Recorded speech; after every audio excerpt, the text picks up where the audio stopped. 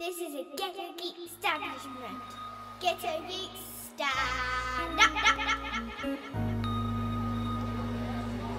Right, okay, hi. Um, this is Ghetto Geek TV again, and we've got our amazing guest today, the wonderful, amazing. I haven't got any superlatives enough for someone who I'm really inspired by, Dean Atta. How you doing? I'm good, how are you? Fantastic. matter where he came from. See, he ain't got the key to the city.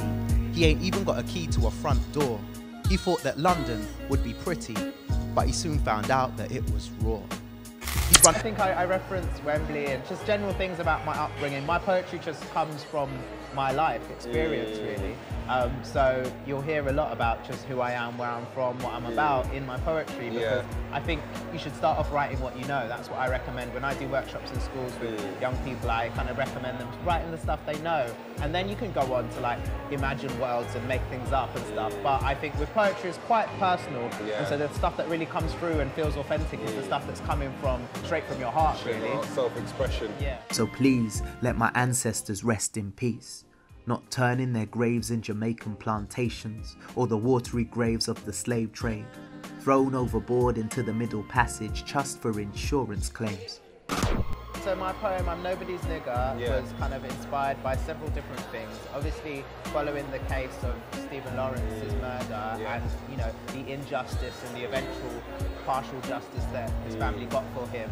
Um, and then there'd been a couple documentaries on, on TV, one about Public Enemy and um, a few other things that are just kind of something about the slave trade probably. I, Yeah. you know, although we it hurts to relive all this stuff. Yeah. Like you know, it's it's it's not too far in the past, and it affects our present. So um, it really just was all bubbling away, and then um, I just kind of, I just I just just had to say it. You know, I, think the song "Niggas in Paris" had come out, and everyone was singing it. And um, I mean, that song doesn't use that word loads, but it's in the title. Yeah. Do you know what I mean? And so that was kind of hearing white people start to use the word, Yeah. and kids that I teach in schools Yeah. were using the word.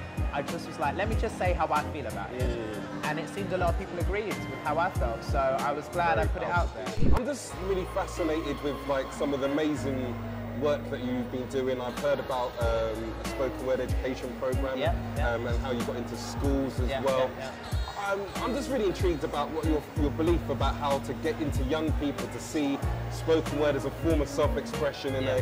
a, a cool way to be able to express yourself. Um, what's Well, your it is, and I mean, given that there's so many great examples of poets that I can show them, you know, YouTube videos or poets I can invite into schools with me um, to do projects. And funnily enough, a lot of young people have already heard about a lot of poets. Spoken word is really like getting out there, so um, they know what it's about. So when you come in and say, "This is what I do," um, they might not have heard of me, but they'll they'll know what spoken word is. Yeah. So that gives you a good way in, and Yeah. like if you can perform for them, rather than just giving them a poem to read on the page, you can perform it for them. You make it live, you make it exciting, make it dynamic, and then they're like, I want to do what you just Yeah. did. How do I do that? I can speak. He said, Give me some money.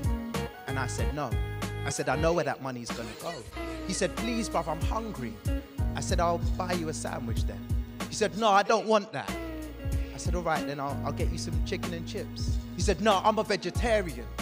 I said, All right, then I'll, I'll buy you a salad. He said, Look, I just want the money, yeah? I just want the money. I said, Well, I just want many things, but beggars can't be choosers. He said, No, I ain't a beggar, bruv. I ain't a beggar. And I said, Well, then I beg you, bro, just move on. There's a key little question that we always ask all um, um, artists Okay. that come and perform. Yeah. Um, a lot of the sort of ghetto geeks out there, they may have naturally. Hold on. Can you define ghetto geeks for me? I, I, do you want me to s- do define it right? Yeah. From the dictionary, you say Uh-huh. ghetto is a poor, neglected area of a city. Okay. A geek is a knowledgeable, obsessive enthusiast. Okay, cool. So you combine those words, yeah, you get yeah. something quite witty. It's pretty. you get Yeah, ghetto yeah, geeks. I like it. So my question is, what's the difference, from your opinion, between rap and poetry? Um, no music. Just that, isn't it? Yeah, really. It is, isn't it? Yeah. This is the like rap Simple a as cappella. that. It's Yeah, it is yeah, the same. Yeah, yeah. I mean, rap is a real incredible skill, um, and um, but both of us, rap, rappers and poets, we're writers first and foremost. Yes. We have to write this stuff. Um, of, you know, freestyle as well. But that's kind of another genre of, of its own, which I really admire Yeah. that people can freestyle. But I just think, yeah, there's not a huge difference, and I don't think there's we, we should make too much time for like dividing things up. We're all, you know, doing amazing things with words and inspiring people, hopefully.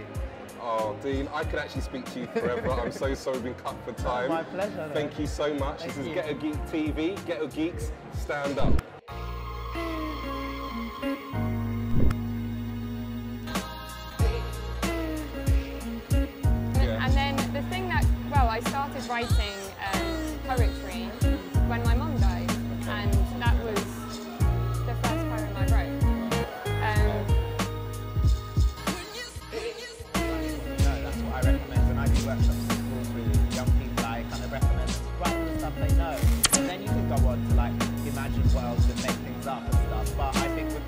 quite personal. Yeah.